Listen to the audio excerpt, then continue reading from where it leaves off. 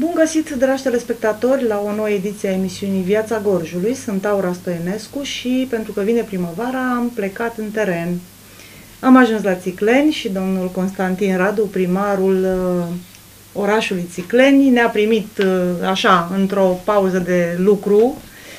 Nu stăm mult, dânsul are multă treabă, dar vrem să știm ca orice primar face un raport uh, la sfârșit de an pentru activitățile din anul trecut, îl prezintă consilierilor, domnul primar l-a făcut, l-am și văzut, dar își face și planurile pentru anul viitor, pentru bugetul anul viitor, adică 2015 față de anul trecut, anul ăsta, 2015, pentru că, iată, banii trebuie foarte bine chivernisiți pentru că nu sunt mulți.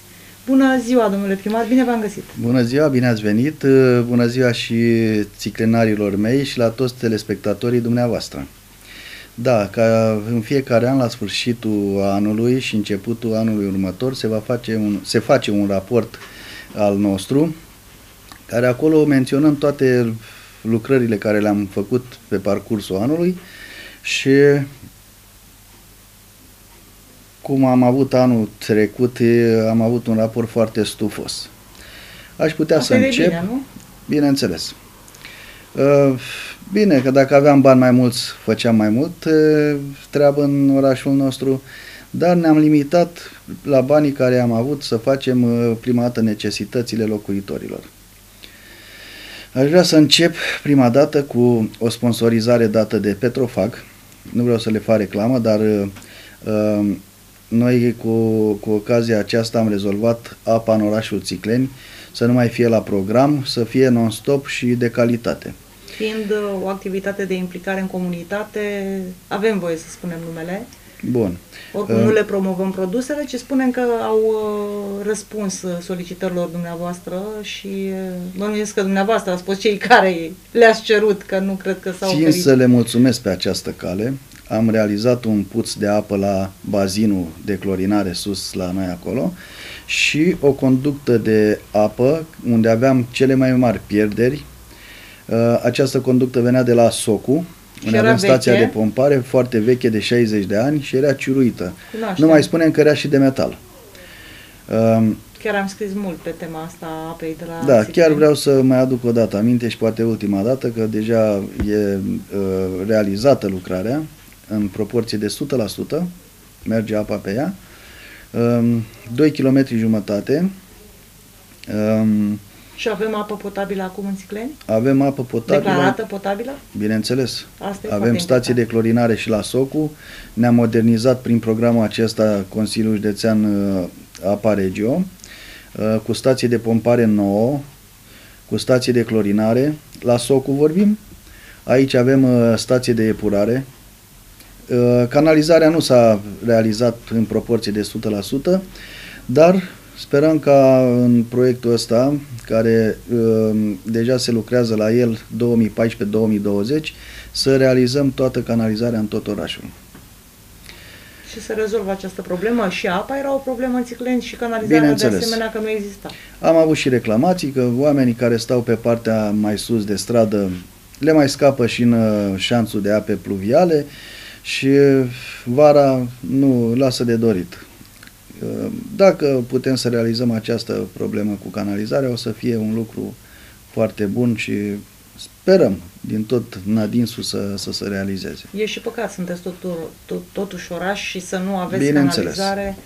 Bine, că nici la o stație de epurare nu e un lucru așa ușor de realizat și nu costă puțin bani. Da. Dar uh, trebuie făcut, trebuie să ne aliniem și noi la standardele europene, că de aia suntem da, în Uniune. Așa este. Ați rezolvat cu apa, canalizarea e pe drumul cel bun, alte lucrări? Da, am avut uh, o lucrare de, uh, de alărșanțuri și zi de sprijin, care a fost făcut în proporție de 100%. Acesta a fost realizat pe strada Stărpoi și pe o parte și pe cealaltă unde era chiar necesar, șanțurile erau de pământ, uh, iar uh, asfalt, asfaltul era turnat uh, acum 2 ani și aveam riscul să se dărâme, să, să rămânem fără, fără asfalt pe acest drum. Acum din bugetul local? Din bugetul local, da. Tot anul trecut cred că s-a făcut și județean, s-a terminat și s-a recepționat. Da, da. Iar un lucru bun, pentru că până la urmă dumneavoastră sunteți orașul stradă, cu...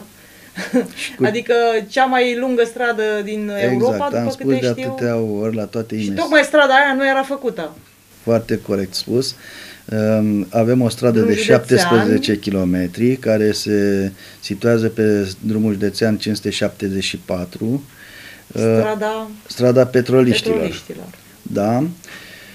Ehm, a fost uh, realizată o lucrare foarte mare, după cum se știe și petroliștii au avut bani și au, avut și, au și mașini ca lumea performante și aveam un drum din uh, gropi, dacă veneau și se, se plombau și astea, se făceau mai dane și roata mașinii tot suferea. Acum avem un drum, sper și cred că așa este, cel mai bun din județul Gorj. Realizat uh, de, de Consiliul Județean. Da. Vreau să-i mulțumesc lui domnul normal. Ion Călinoi pe această temă și pentru canalizare și pentru acest drum.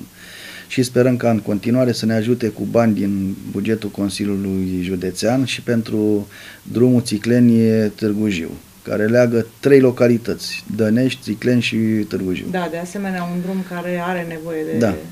Aș vrea să amintesc, lucrăm și noi la un proiect, la un drum comunal care ne leagă de uh, localitatea Aninoasa, am și, l-am și depus în, în linii mari la, la uh, Ministerul Dezvoltării. Sperăm să obținem finanțare și pentru acest drum și atunci uh, vă dați seama cât ar scurta turburea aninoasa să meargă la Târgu Jiu, cel puțin 50 de kilometri. Da, da, într-adevăr. Da. Alt ceva din raportul dumneavoastră, alte activități?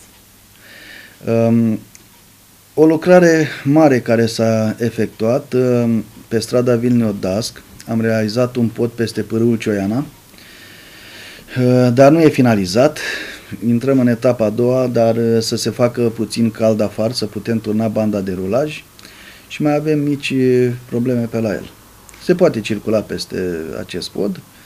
E de o anvergură rară, ca să spun așa.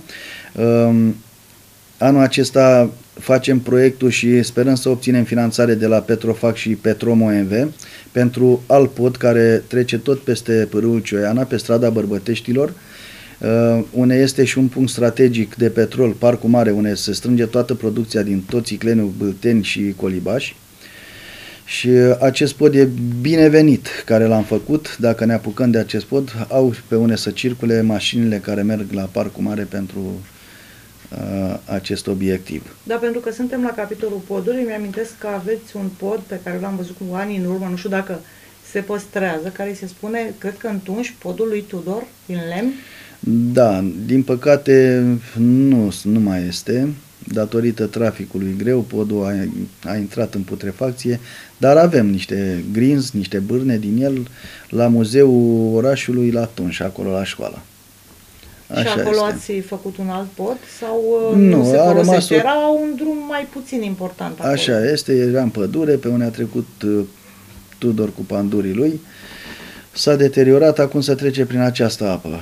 Nu mai este niciun pod acolo.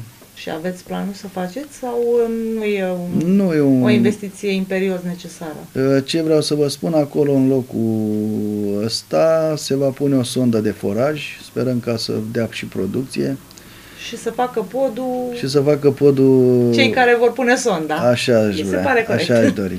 și i-am pune denumirea podului Tudor Vladimirescu. Da, ar fi bine. Da. O să arătăm telespectatorilor pentru că eu am fotografii cu podul așa cum era atunci. Da, acolo aproape de pod aș vrea să mai amintesc și de un copac secular de 800 de ani. Are și tăbliță de copac secular, e înscris în în, Stejar. Da, da. Se menține foarte bine, nu are nicio ramură uscată, sperăm să ducă la un milion de ani. și să-l faceți un obiectiv turistic, pentru că da. e ceva rar, într-adevăr. Așa este. Noi am avut o pădure seculară aici în, în Parcul Stejeretului.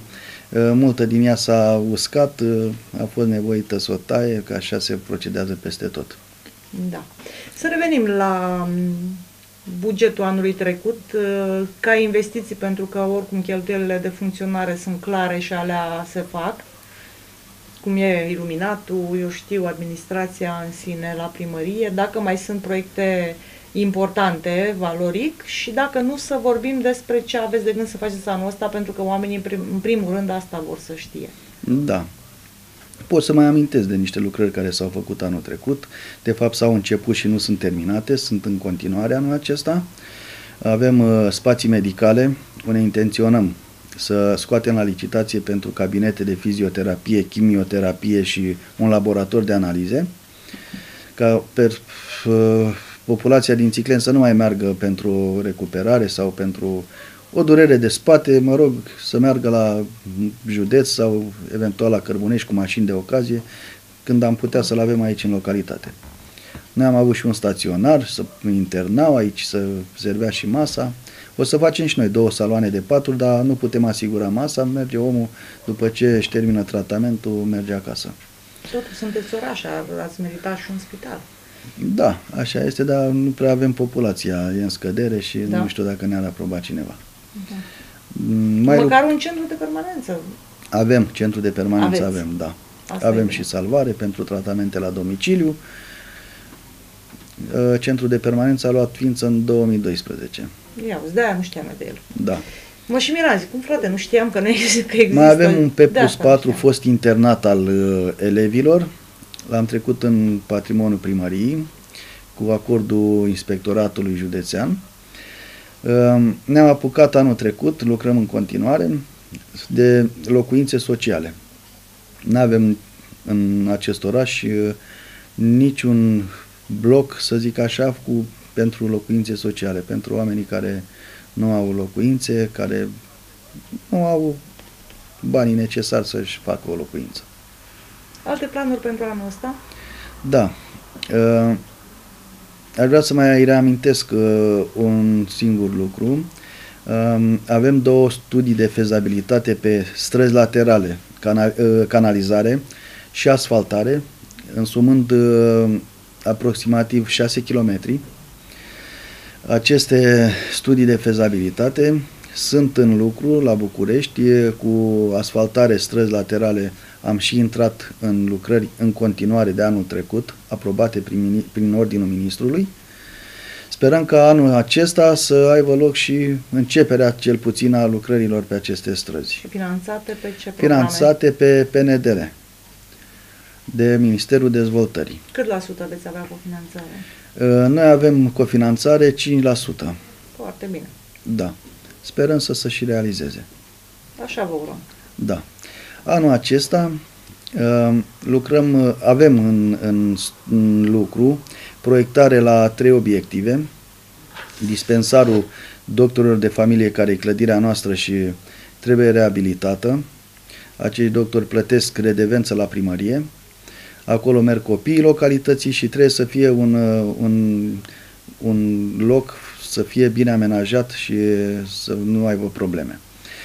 Uh, mai avem uh, în proiectare și sperăm ca la finele lunii acesteia să fie gata o bibliotecă. Acum ea se realizează, își desfășoară activitatea în Casa de Cultură. În Casa de Cultură aș vrea să, să intenționăm să facem, uh, avem de, de fapt uh, trei ansambluri de dans care uh, fac repetiții pe, pe scenă. Ori scena eu cred că este numai pentru spectacole. Um, și ați dori să aveți săli speciale pentru repetiții? Da, săli separate. Acolo unde funcționează acum biblioteca. Probabil. Exact, da. Într-o parte e biblioteca și în cealaltă este studiu de carte și tot biblioteca. Vis-a-vis -vis de Casa de Cultură, mai avem o clădire care o, o reabilităm după standardele de, de astăzi, standarde europene și încercăm să, să avem, ca și de altfel avem două bibliotecare foarte gospodare și în fiecare an noi scărțile, avem și donații de care se ocupă de, de această treabă. Și când vezi un lucru din ăsta, trebuie să, să ajuți. Și copiii vin la bibliotecă? Sunt da, da, avem. influență de copii, deci merită să faceți o investiție de genul ăsta. Da, de dimineața până seara. La bibliotecă avem și calculatoare unde poți să-și facă un referat, Să, avem o bibliotecă. Biblionet. Da, da. Și biblionet aveți, e foarte da. bine. Avem biblioteca modernă exact ca la Târgu Jiu, să știți. Um, intenționez să mai fac uh, o, o, de fapt se lucrează la, și la această clădire la um, proiectare. N-am banii suficienți pentru ea. Uh, fostul cinematograf al orașului Țicleni nu aș vrea să se dărâme, să fie o ruină, aș vrea să reabilitez pentru o fabrică de confecții. Um, deja și-a exprimat un potențial investitor această uh, fabrică de, de confecții. Avem deja un curs pe fonduri europene pe, pentru specializarea, specializarea în, în domeniul acesta. Da. Deja 15 uh, sunt uh, pe linia bună, fac practică la Cărbunești la o fabrică de confecții, am stat de vorbă cu directorul de acolo și deja și-au dat drumul uh, la lucru. Sperăm să, să o realizăm, să dăm de lucru la 20-30 de doamne din orașul Țicleni. Iată, creare de locuri de muncă, dar întrebarea mea este pentru această investiție. Uh, este ceva la nivelul de discuții sau deja s-au semnat ceva documente, adică există o speranță sigură? Ieri am discutat, uh, l-am chemat uh, pe domnul director aici și am discutat cu dânsul, o să ne puie și documente la dispoziție, o să aduc în, uh, în Consiliul Local, la prima ședință și sunt, sunt speranțe foarte mari pentru acest Se va merge pe o concesiune, pe o închiriere sau da, le se va scoate la licitație. Vindeți uh, nu, locația? Nu, se va scoate la licitație în 24 de ani cum uh, trebuie recuperată investiția care se face și investiția o faceți dumneavoastră și apoi închiriați? Da, păi nimeni nu vine să investească într-o... Da, reabilitare, poate să vină și o altă firmă care își desfășoară activitatea. Noi scoatem localul la licitație, dar pe această problemă, pe, pe uh, fabrică de confecție. Ca să oferiți locuri de muncă. Da. Bine, ați putea discuta dacă nu sunt făcute deja toate, mă rog, discuțiile finale, ați putea merge și pe o variantă parțial din chirie să suporte ei și să facă și ei lucrări, adică pe parcurs. Pentru că mai sunt necesare, poate compartimentări, poate, adică îmbunătățiri, eu știu, sau veți merge pe... Da. Sau le, le dați la cheie. Vedeți, dumneavoastră, există riscul uh, Doamne ferește să nu stea 24 de ani de acum înainte, dar mă rog, cât stă, atât stă fabrica și dumneavoastră vă recuperați înapoi clădirea cu investiția făcută care vă rămâne. Da, deci n-ar fi o problemă dacă ei nu, nu rămân în localitate. Bineînțeles, printr-o ședință de Consiliu, cu o hotărâre de Consiliu, se poate schimba și destinația. Clădirea nu Investiția trebuie să... oricum e făcută și vă rămâne dumneavoastră, da. nu pleacă da. investitorul cu ea. Poate să ia amploare o fabrică de conserve, poate orice. orice. Dacă avem clădirea și se poate intra în ea, oricine poate să vină să investe. Dar să dea Dumnezeu să meargă fabrica de confecții, pentru Asta că este o activitate care nu mai prea există în uh, Da, da. Uh, după cum știm și la Târgu Jiu, fabrica de confecții, dacă a fost prea mare, a dat faliment. Mai, mai bine merg microfabricile care sunt cu un potențial și din afară, unde pot să facă export cu marfa care o produc și Sperăm să fie bine. Mai avem uh, anul acesta și aș vrea în postul Paștelui acum să definitivăm la cantină uh, și ultima investiție sper să fie la această cantină. Um, această, aceste lucrări de mărire a toaletelor uh, avem o, am uitat să vă spun, avem o, o locație de cel puțin 800 de persoane iar uh, toaletele sunt foarte mici și uh, nu, nu au loc uh, personalul care vine la anunț și la sindrofile care se fac aici. Și pe care o închiriați cantina. Bineînțeles, avem închiriată până în 2016 inclusiv. Faceți concurență restaurantelor private. Da, asta nu e un lucru bun, că ei plătesc la noi, dar intenționăm să mărim și noi prețul, că investiția e foarte mare în această cantină și cel puțin se va dubla prețul și la noi, începând cu anul acesta. Și oamenii vin cu mâncare cu tot și dumneavoastră le dați doar sala și eventual, uh, știu eu, amenajarea meselor. Uh, și mese și tacâmuri, tot Tacâmuri, absolut, da. tot ce au nevoie, doar atât mâncarea și o aduc ei da. și fac acolo. Dar e posibil să le convină mai bine decât să meargă la un local. Uh, Bineînțeles, să-și fac cu mâncarea lor, poate să crească un porc acasă, poate vinul e al lor, totul e al lor.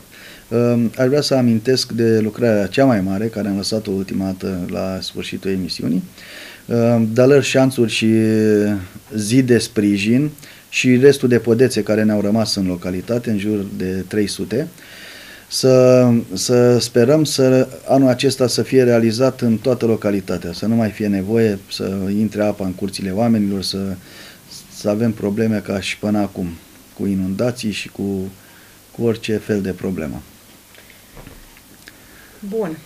Uh, și atunci când vor fi realizate și aceste obiective pe care dumneavoastră le-ați precizat, mai rămâne ceva de făcut în Țicleni, adică la capitolul investiții, pentru că normal dumneavoastră v-ați făcut un plan în funcție de bugetul pe care îl puteți aloca investițiilor. Ce necesități mai sunt în orașul Țiclen pentru ca totul să fie în regulă? Necesități vor veni de la an la an, uh, dar uh, e greu să-și întreții eu am toaletizat tot uh, orașul de toți copacii bătrâni. Uh, uh, bineînțeles că n-am lăsat așa, am pus alții tineri, că așa e corect. Când tai un pom ca să, să fie ceva bine și frumos, trebuie să pui altul în loc. Așa am învățat la școală și așa am făcut și acum. Toată strada noastră s-a luminat puțin, să vede și după curbă cum vine vorba. Dacă ar veni cineva din străinătate care n-a fost de 2 ani pe acasă, eu cred că ar zice că nu mai e în Țicleni, că nu mai e orașul e în altă, ăsta, da. în altă parte, da. Într-adevăr, s-a schimbat fața localității. Da, mai avem în, în lucru anul acesta, care se lucrează și la uh, proiectare, uh, această clădire a primăriei, dacă toți intrăm în ea și nu mai facem nimic pe la ea, normal că se deteriorează. Vrem să o izolăm termic, să facem un par frumos pe lângă ea, și să fie drag la cetățean să vie la această primărie. Bun. Pentru anul ăsta zic că aveți destule de făcut. Da. Eu vă urez spor la treabă, domnule primar, și o să mai revenim pentru că ne-am făcut un plan ca viața Gorjului să o descriem nu numai în studio, ci și în teren, că așa este normal. Da. Așa că o să vă mai călcăm pragul și pe viitor. Am uitat să vă reamintesc de niște terenuri sintetice la școala de la Mercioiu, așa se numește după dascălul care era acolo. Avem aici o bază nouă la Liceul Tehnologic Țicleni, care anul acesta să dăm folosință. Uh, mai avem o bază la, la Generală, care proiectarea făcută de anul trecut, anul acesta va fi și realizată la, în centru aici. Sperăm ca toți uh, copiii și până la urmă și vârstnicii să meargă să, să facă o alergare, să joace un fotbal pe un teren care numai la orașele mari se găsește. Felicitări! Vă mulțumesc! Laura Spor la treabă și vă mulțumim pentru prezența în uh, emisiunea Viața Gorjului. Dragi telespectatori, dumneavoastră vă mulțumesc pentru atenție și ne revedem. La revedere!